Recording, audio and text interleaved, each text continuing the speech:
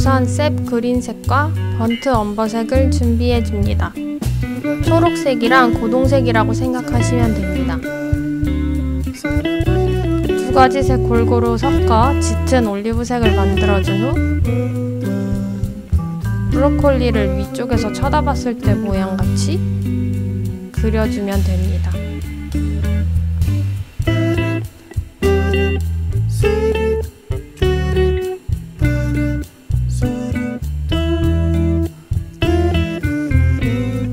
종이의 하얀색이 비쳐 보이지 않게 여러 번 칠해서 불투명하게 만들어 주세요.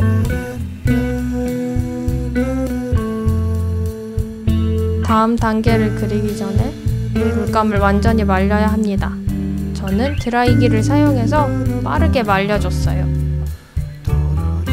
이제 올리브색을 사용해서 잎을 그려줄 건데요. 우선 초록색하고 황토색만 섞어보니까 너무 밝은 것 같아서 갈색을 좀 더 섞어줬습니다. 붓에 물감이 많이 묻어 있어야지 터치 한 번에 잎이 매끄럽게 그려집니다. 물감 혹은 물이 부족하면 붓이 갈라지면서 예쁘게 잎이 그려지지 않아요.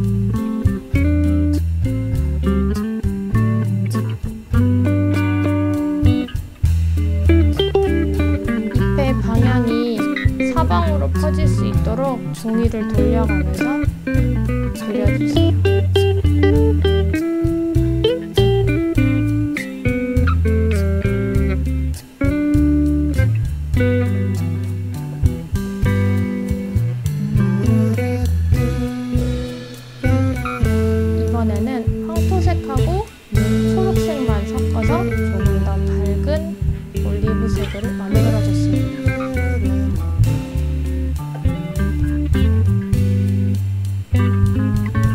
곳을 찾아서 잎을 그려줄게요.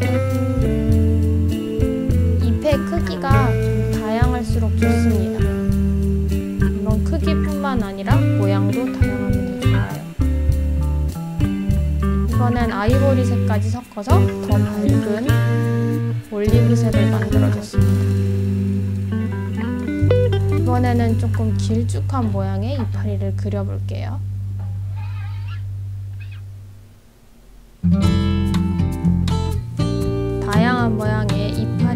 그리는 법 제가 저번 영상에서 소개한 적이 있으니 참고하셔도 좋을 것 같아요.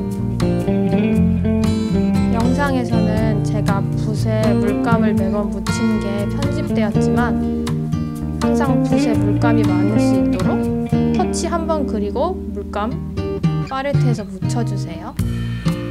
이번엔 초록색하고 아이보리색하고 황토색 약간 섞은 밝은 초록색에 가까운 색으로 마치 세잎 클로버처럼 자그마한 이파리를 붙여서 그려줄게요.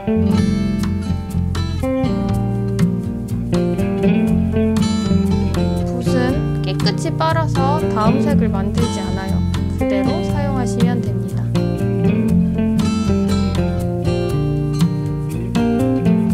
여기저기 다 그려주었으면 이제 마지막으로 가장 밝은 올리브색을 만들 거예요. 이번에 아이보리색을 더 많이 섞으면 밝게 만들어지겠죠?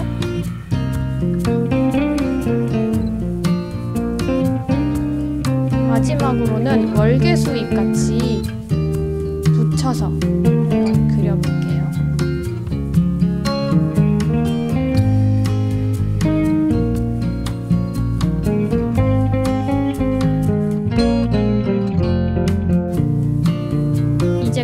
그려줄 건데요.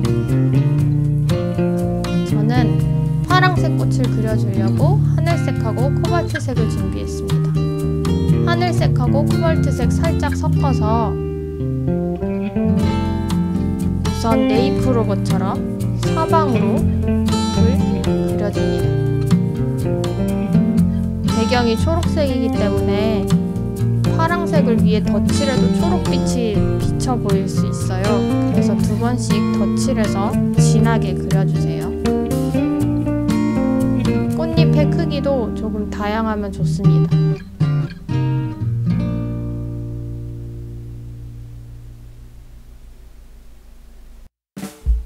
가장자리에는 꽃잎을 삼지창처럼 3개만 붙여 그려서 봉우리처럼 보이게 그려줬습니다.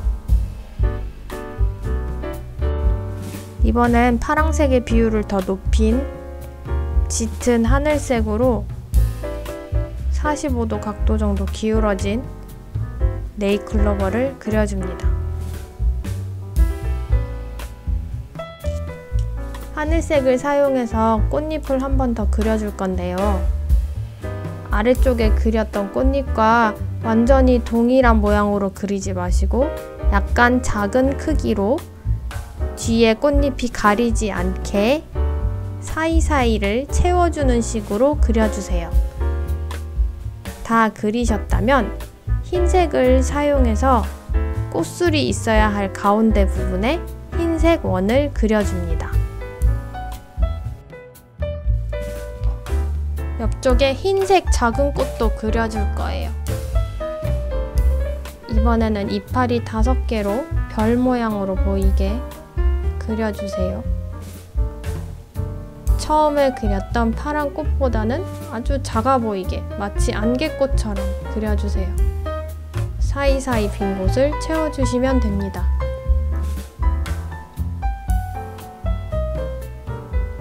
작은 하얀 점도 찍어줬고요. 흰색이 마르면서 아래쪽 배경이 비쳐 보일 수 있기 때문에 두세 번 덧칠해줬습니다. 이번에 진한 노란색으로 아까 흰색 그려놓았던 원 위에 덧칠 해줍니다.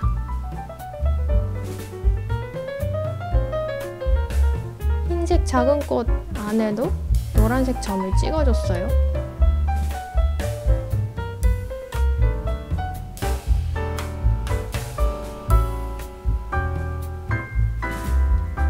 덧칠 해주는 중입니다. 이렇게 그림이 완성이 되었어요. 감사합니다. 또 만나요. 구독과 좋아요도 잊지 마시고 하신 다음에 다음 영상에서도 또 만났으면 좋겠어요.